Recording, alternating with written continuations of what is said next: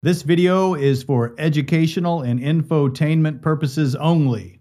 It is not intended to encourage or glorify the use of illegal drugs, violence, or criminal activity in any way.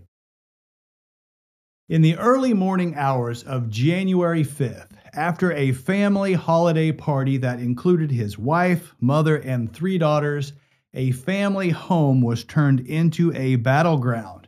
The Mexican military dispatched airplanes, helicopters, and hundreds of soldiers to arrest Ovidio El Raton Guzman, the 32 year old son of El Chapo and the youngest of Los Chapitos, Little Chapos, who have been in at least partial control of the Sinaloa drug cartel since their father was extradited to the United States in 2017. The raid was in part a response to a $5 million bounty that was placed on his head by the U.S. government, who believes that these men are the main overseers of the fentanyl production and trafficking that has plagued the United States in recent history. So, what happened in the raid? Where is Ovidio now? And what does that mean for the future of the Sinaloa drug cartel? Well, you're about to find out.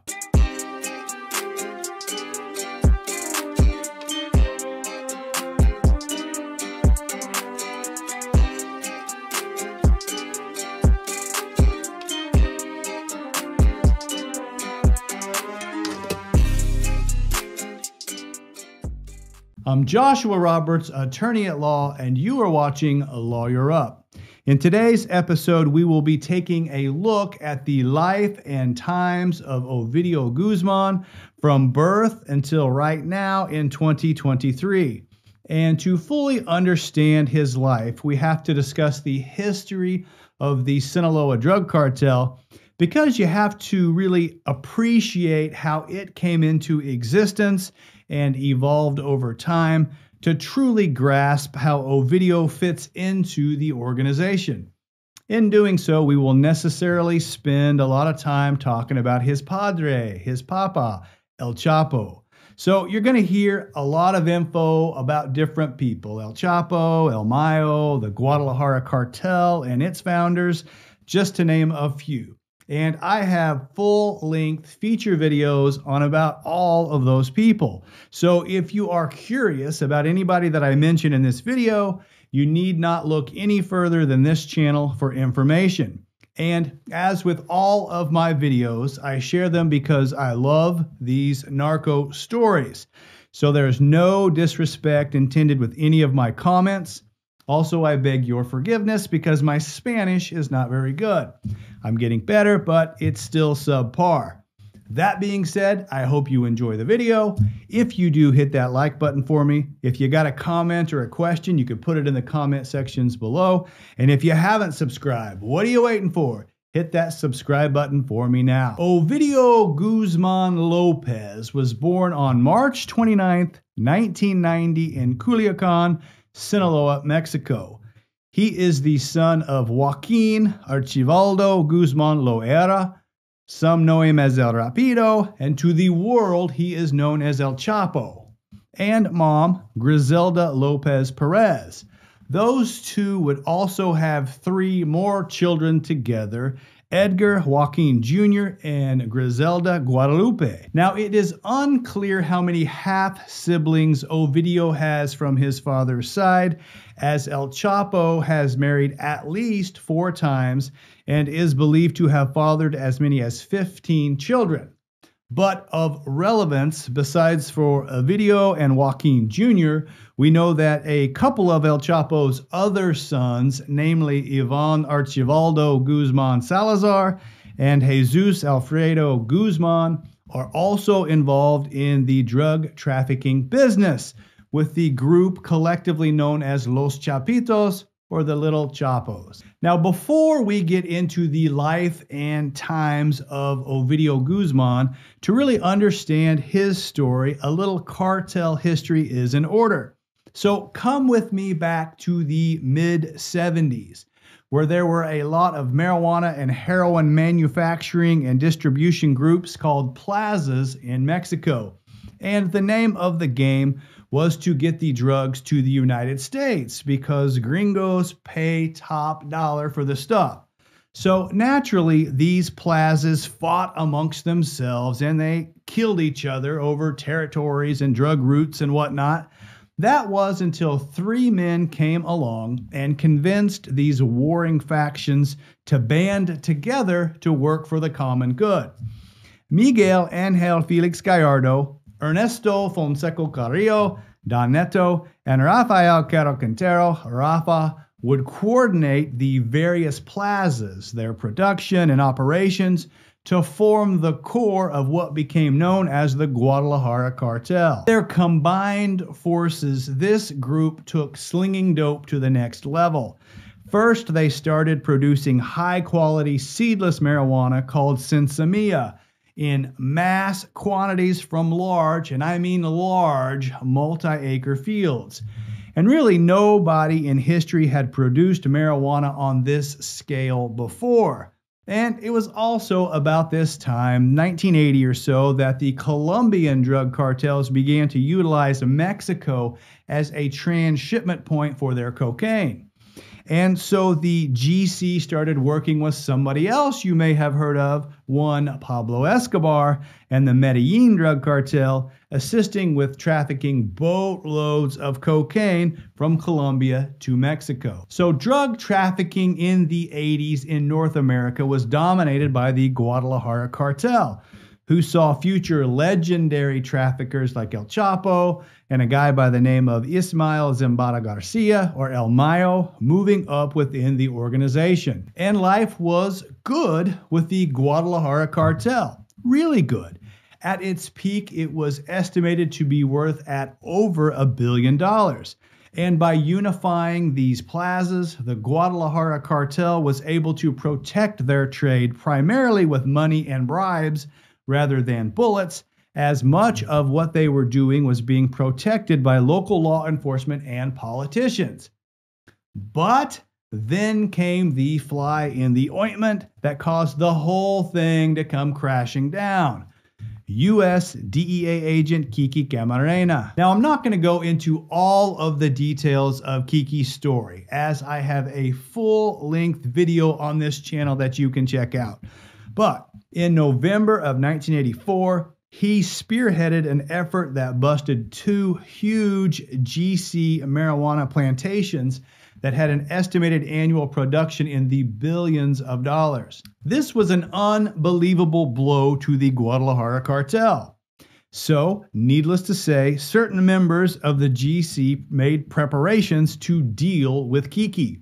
And on February 7th of 1985, Camarena was abducted in broad daylight, taken to a cartel mansion, and there he was beaten, tortured, and murdered. Camarena's murder then prompted a swift reaction from the United States DEA, which launched Operation Leyenda or Legend, the largest DEA homicide investigation ever undertaken, with the three leaders of the GC as the primary suspects. Rafa and Don Neto were arrested within a couple of months, but Felix Gallardo, he was able to evade arrest for another four years.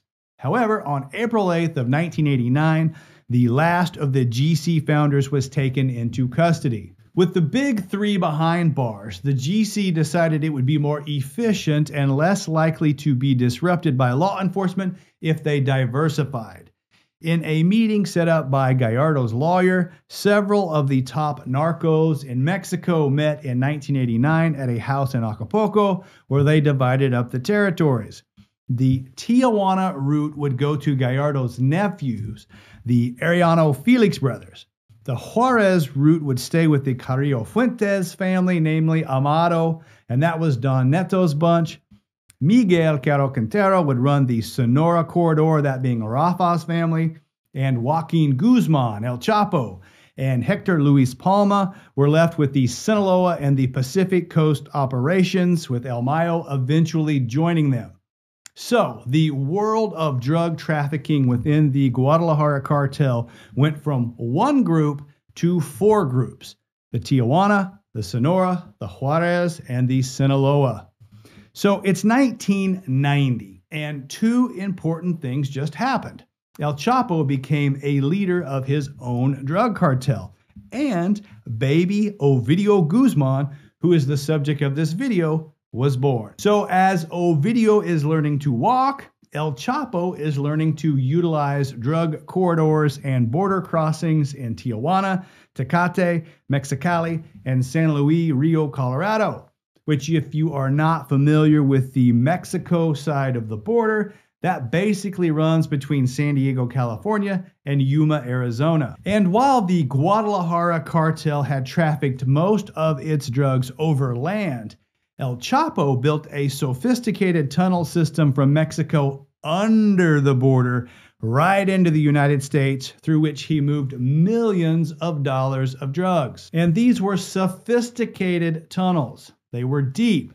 They had electricity, lighting, often ventilated, and some of them had rails upon which motorized vehicles could transport contraband and personnel. And simply put, because of their logistics superiority, the Sinaloa cartel was just trafficking better than everybody else. They were moving a lot more dope and getting a much larger slice of the money pie than the other three cartel groups. So there began to fester some envy and some anger with the other groups, especially with the Tijuana cartel. And in 1992, the Tijuana cartel would get the violence ball rolling by executing Armando Lopez, who was El Chapo's right hand man. This was a slight that El Chapo might have overlooked. But then the Arellano Felix brothers hired a hitman to go after his longtime partner Hector Palma's family, killing his wife and two of his children. And at that point, it was on. And so this was really the end of the era where money and bribes was used to protect the drug cartels and is really when things started to bend towards the violence that we see in the Mexican drug trade today. Now, I walk through the entire story of what happened next in my full length videos on El Chapo, and it's fascinating. But for the purposes of this story, all you really need to know is that over the next year, the Tijuana cartel and the Sinaloa cartel took turns trying to assassinate each other's leaders. This continued until May 24th of 1993 when Cardinal and Archbishop Juan Jesus Posadas Ocampo was killed in a failed assassination attempt on El Chapo's life. Well, that crossed a line. The incident outraged the Mexican police, politicians, the Catholic Church, and the public in general. In response, the government launched a massive manhunt and offered a multi million dollar bounty on those involved. And although he was technically a victim in the attack, El Chapo's picture was plastered across every newspaper and TV in North America. So, exposed in Mexico, El Chapo bounced across the border to Guatemala where he would ultimately be arrested a short time later on June 9th of 1993. And little Ovidio, well, he was three at the time of his father's arrest. And from there, long story short, El Chapo was extradited back to Mexico, where he was charged and convicted of drug trafficking and sentenced to 20 years in prison. Even though El Chapo was in prison, the Sinaloa cartel continued to operate as his brother Ovidio's uncle, Arturo Guzman, stepped in and assumed a leadership role alongside Hector Palma and El Mayo. Those three would head up the cartel over the next three years until Palma was arrested in 1995 by the Mexican army. Then it was just Arturo who was standing in for El Chapo and El Mayo as the two in charge of the cartel. So it's 1995. Ovidio is now five and starting elementary school at the prestigious school run by the Legionnaires of Christ in Mexico City. The problem was that everybody knew who he was, or more importantly, who his father was. And quite frankly, the other families were afraid of the potential for violence. So Ovidio didn't get invited to sleepovers or birthday parties or the other things that kids traditionally get to do. This exclusion came to a head when a large group from the school was going to Disney World for a trip. Well, Ovidio was being left out, so his mama got involved and actually offered to pay for the entire trip for all of the students if Ovidio could go along.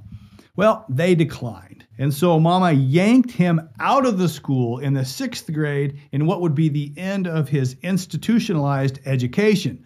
This occurred in 2001. The same year, another significant event happened a prison break. Even though El Chapo had been in prison for the last seven years, he was still heavily involved in the cartel dealings. And as it turned out, he had most of the guards in the prison on his payroll. So on January 19th of 2001, in a group effort orchestrated and paid for by the Sinaloa cartel and executed internally through corrupt corrections officials, El Chapo was loaded into a laundry cart and rolled right out the front door of the prison. Escaped. And within a couple of days, El Chapo was back in charge of the Sinaloa cartel, along with El Mayo, where he was reunited with his son Ovidio now aged 11. Of relevance on the cartel side of things, it was at this point that El Chapo decided to expand their drug market and they started manufacturing methamphetamine. Chapo would also expand their entry points into the United States by partnering with the Juarez cartel to gain access to crossings in Texas as well. Now, that joint venture lasted until September 11th of 2004, when, after a perceived slight, El Chapo allegedly ordered the assassination of the leader of the Juarez cartel, Rodolfo Carrillo Fuentes. This, of course, set into motion a bloody battle between those two cartels that continues, well, to this day, really.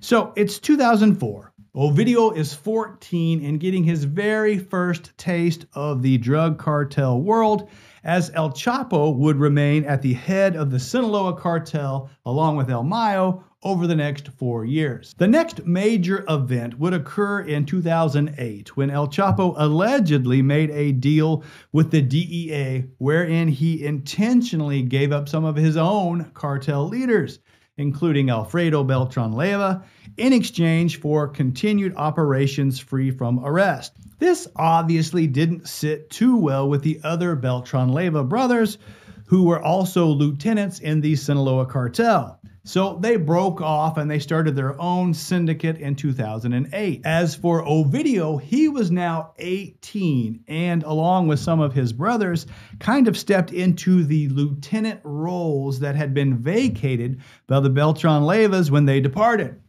And two years later, in 2010, Ovidio would become a father with the birth of his first baby girl.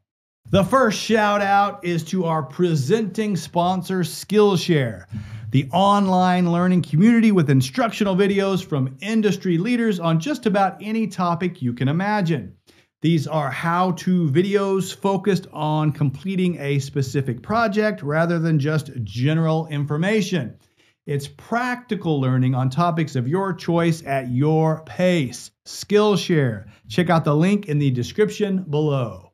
During his time on the lam, Chapo primarily hid out in the Sierra Madre Mountains in the Triangulo Dorado or the Golden Triangle region of Mexico between Sinaloa, Durango, and Chihuahua. And had he stayed hidden in that region, who knows? But he didn't and his luck ran out when authorities tracked El Chapo to a beachfront hotel in Mazatlan and arrested him on February 22nd of 2014. He was taken into custody after a brief struggle. He'd been on the lam for 13 years. Ovidio was 24 at the time of this arrest. So El Chapo was taken back to prison. This time he was put in solitary confinement in a highly restricted cell where he stayed 23 hours a day. He was under 24 7 security camera surveillance in every area of his cell except for the shower. El Chapo faced charges in several Mexican and United States courts for murder and kidnapping and torture, drug trafficking, money laundering, you name it, he was charged with it. And so while the legal wranglings were taking place with El Chapo, in his absence, Los Chapitos, his sons, stepped back into a primary leadership role within the Sinaloa cartel. And that's where things stood until July 11th of 2015. It was on that day when the corrections official who was monitoring El Chapo's camera feed noted that he entered the shower area but had not exited for over 25 minutes. Guards were dispatched to investigate, and what they found when they arrived at his cell was a great big hole in the shower floor and a ladder descending into the depths. But no El Chapo. So here's how he escaped the second time. There was a tunnel that was chiseled out about 33 feet underground. It spanned right at a mile to a house that was under construction nearby. The tunnel was five feet seven inches tall and two and a half feet wide. It had lighting, air ducts, and a motorcycle on rails for a fast getaway. So by July of 2015, Ovidio, now aged 25, is again reunited with his dad. Interestingly, right after the escape, Ovidio's mother, Griselda Lopez Perez, would be arrested for, quote, her role in operations of El Chapo's DTO, drug trafficking organization. However, it appears that it was more of a publicity stunt than anything else, as she was set free the same day she was arrested after a federal judge decided that there was not enough evidence to warrant her detention. Interesting. Then, what happened next has to be categorized in the truth is stranger than fiction category. So, El Chapo back with the Sinaloa cartel, reaches out to Mexican actress Kate de Castillo, telling her he would like to talk to her about doing a Hollywood film on his life. She agrees and gets into contact with American actor Sean Penn. Yeah, the one that was married to Madonna. And they decide that they would start the process with an interview of El Chapo. So on October 2nd of 2015, De Castillo and Penn travel to a mountaintop location in the Sierra Madres where they conduct an interview that would later be published in the Rolling Stone magazine. And in that article, El Chapo tells his story, including that he supplied more heroin, meth, cocaine, and marijuana than anybody else in the world. It's hotly disputed as to whether this meeting actually led authorities to El Chapo's hidden location, Regardless, within a couple of months, Mexican special forces nabbed El Chapo in Operation Black Swan. The day was January 8th of 2016, about 6 months after his second escape. This would be the last day that El Chapo would walk the earth as a free man. From there, and it took a bit, but El Chapo was ultimately extradited to the United States, tried in a New York federal court, found guilty of all charges and sentenced to life in prison plus 30 years. El Chapo is currently serving his sentence at the ADX Supermax prison in Florence, Colorado. This is the nation's new Alcatraz. It's considered the most secure prison in the United States if not the world. So from 2016 forward, Ovidio and his brothers would take a more prominent role as leaders of the Sinaloa cartel because there was really no hope that El Chapo was going to return after his extradition to the United States. And when it comes to Los Chapitos, there is much dispute as to which son actually has the most control. His older brothers, Ivan and Jesus, are generally considered more powerful than Ovidio or Joaquin. But without question, Ovidio was an important leader. In 2016, he also had something else happen that was significant in his life. Ovidio's second daughter would be born. So by 2017, you have the Sinaloa cartel being run by Los Chapitos and El Mayo.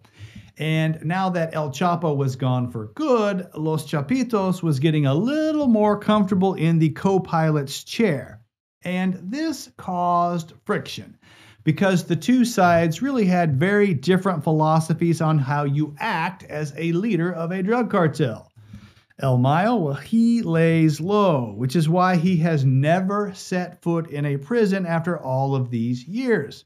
Los Chapitos, they are more ambitious and known to show off their wealth and be far more visible. In addition, after the permanent loss of El Chapo, another fracture emerged within the cartel as Damaso Lopez, El Licenciado, the graduate, Another high ranking cartel boss, probably most famous for orchestrating El Chapo's first prison escape, he also started eyeing the top position. So then there were three factions vying for control. So in 2017, Damaso organizes a meeting between himself and El Mayo and Los Chapitos to address the future leadership of the Sinaloa cartel. Los Chapitos and El Mayo, they arrive on time, but Damaso is nowhere to be found. When all of a sudden an SUV comes speeding up and starts firing at the house where the traffickers had gathered inside. It was a trap, allegedly set up by Damaso, who was playing for control of the whole Sinaloa cartel. Well, the attack failed. Failed to kill El Mayo, failed to kill Los Chapitos, and eventually, Damaso was tracked down by police and arrested. So his short term attempt at control was ultimately unsuccessful. Also, in 2017, in response to his ascension in power, the United States formally indicted both Ovidio Guzman and his younger brother Joaquin on charges of participating in a conspiracy to traffic cocaine, methamphetamine, and marijuana.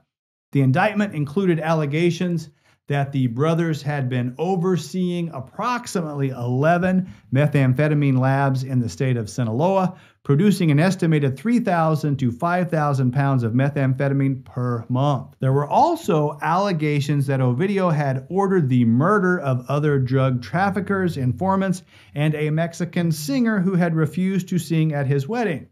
Again, these are only allegations, and Ovidio is presumed innocent until proven guilty.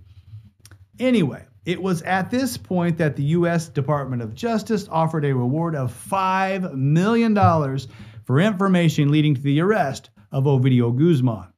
In addition, it is believed that somewhere just prior to this time period, he married his longtime girlfriend, Adriana Meza Torres, the daughter of LM6, a cartel member who was killed a decade earlier. During 2018, the division between Los Chapitos and El Mayo continued to widen.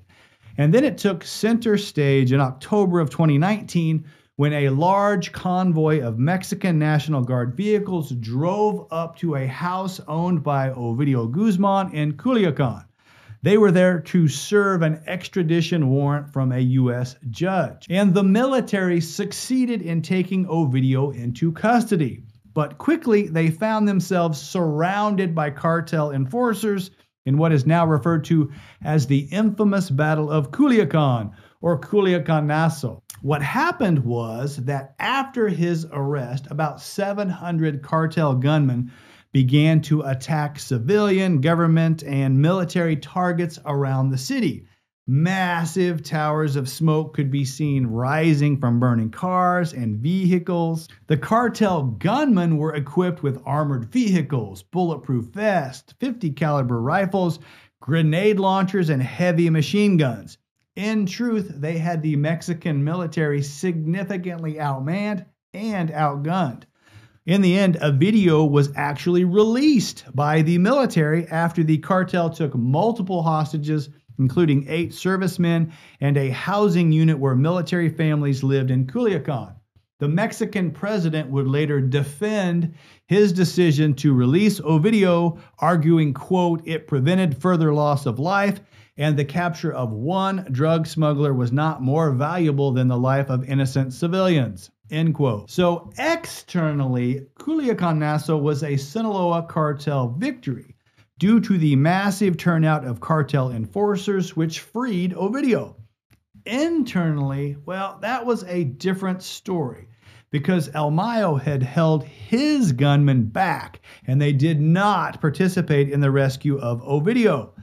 As you might suspect, this did not go unnoticed and it put a permanent wedge in the relationship between Los Chapitos and El Mayo as they believed he had, quote, turned his back on them in their time of need. Regardless, after Culiacanazo, Ovidio shot to fame with photos of the defiant young narco going viral.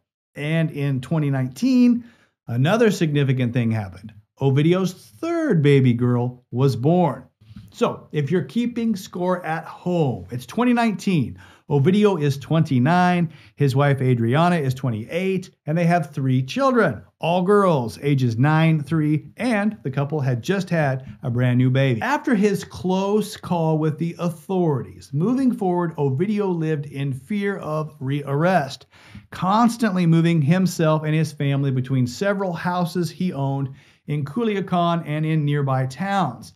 This all according to sources inside of the Mexican army. Of particular significance is a collection of houses he owns in a compound in the city of Jesus Maria, Sinaloa, a tiny town about 40 minutes outside of the capital city of Culiacan. So there's basically only one way in and out of Jesus Maria. It is a highway that runs from Culiacan. As you approach the edge of town, there is a stone arch welcoming visitors to Jesus Maria, but it also marks the beginning of cartel held country.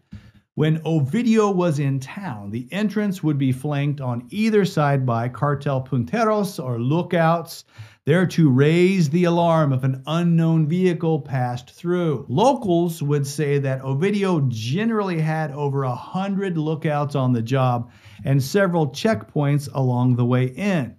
His sicarios would also watch 24 7 outside of the wooden gates of his compound, normally sitting atop armored vehicles with mounted machine guns. Notice the mouse above the Punisher logo on one of these vehicles. That's for Ovidio's nickname, El Raton, the mouse. Guzman's home itself is purchased atop a hill. The vantage point allows cartel men to spot the approach of rival cartels or law enforcement.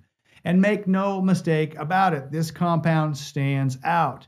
The houses surrounding it are one or two bedroom homes with sheet metal roofs and dirt floors. This is an area of extreme poverty, which you might think would lead to resentment as to Ovidio's wealth. However, as it turns out, Ovidio was very popular with the locals in Jesus Maria. Some described him as a hero, others as a grandson. Most of the residents said that for years they received financial support from him while the Mexican government had abandoned them. So his presence was welcomed in this small community. Second shout out today is to Liquid IV, the electrolyte drink mix that delivers hydration to your cells faster than just drinking water alone. This hydration and energy multiplier is way better than Gatorade. Make your water work harder.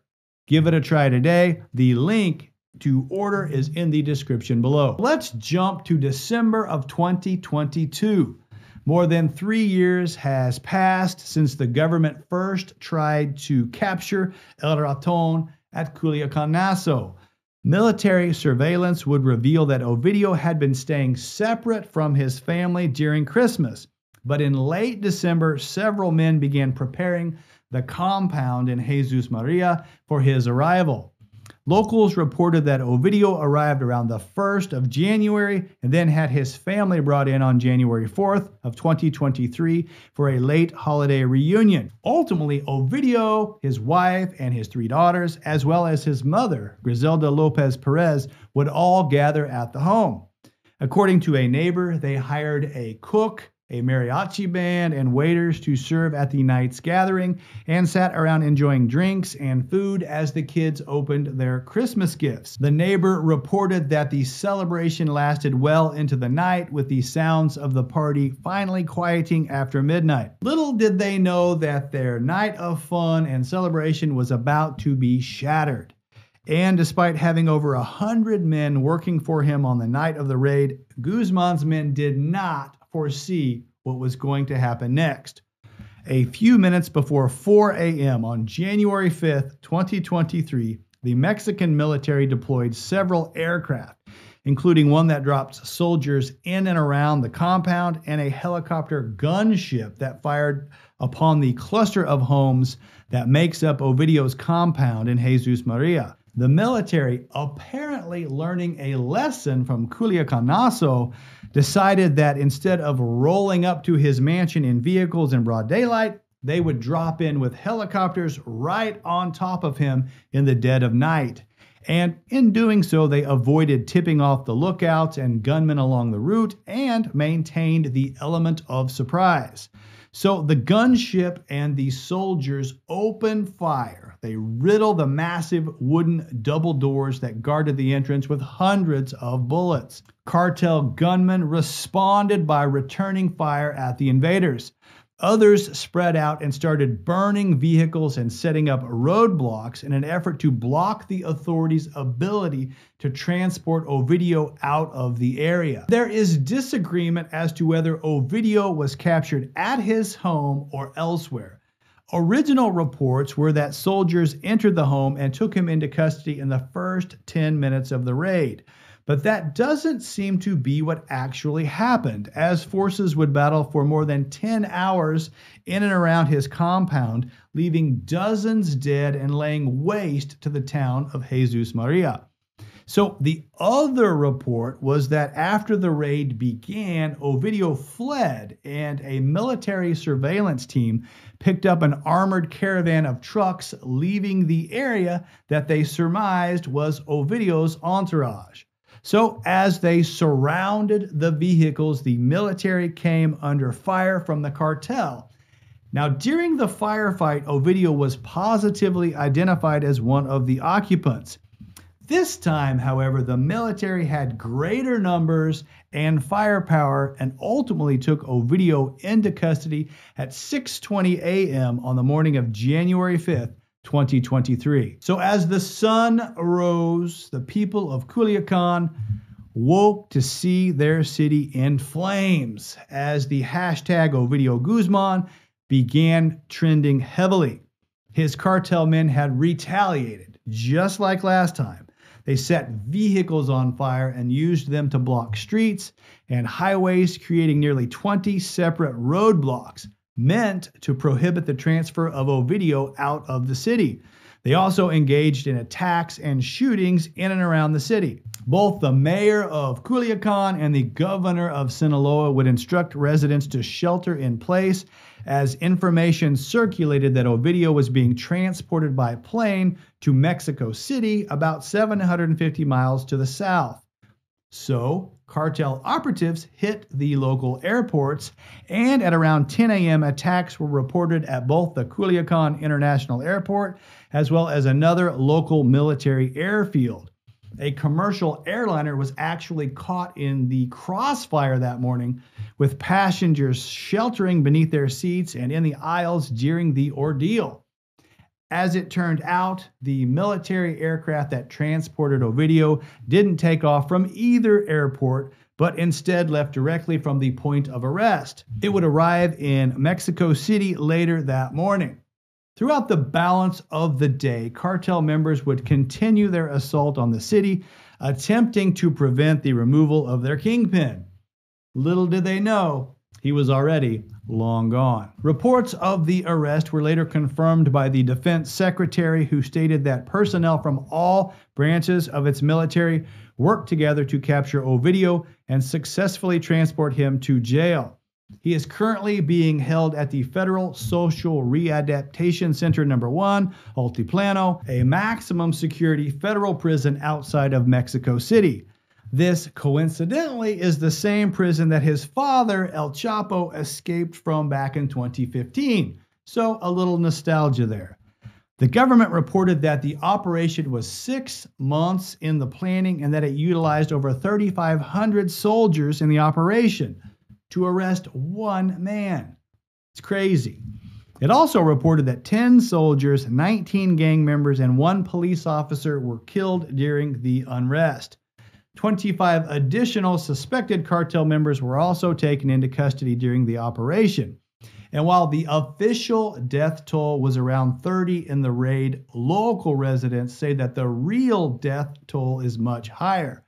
In fact, residents of Jesus Maria say the government is covering up mass casualties in what turned out to be a 10 hour gunfight. Some are saying that the government actually took several individuals killed in the crossfire with them on a helicopter to hide the bodies. Quote, there are currently more than 140 people missing from Jesus Maria that the government is not acknowledging. End quote. This was from a local resident who asked that their name be withheld because of fear of retaliation from the government. He went on to say, quote, we need to recover those bodies, end quote. Indeed. Interestingly, a reporter from Vice News actually went to the location and ventured inside of Ovidio's compound about a week after the raid.